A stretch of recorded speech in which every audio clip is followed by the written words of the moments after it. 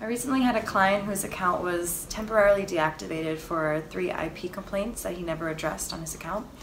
And he had 24 hours to submit a POA um, kind of explaining like what he tried to do to fix these IP complaints um, as well as how to prevent them from you know being asserted on his account in the future. And so when I got that notice, um, I started working on his appeal right away and we sent in the appeal and it reinstated his account. The suspension banner was taken off of his account and his listings were now active. Thank you.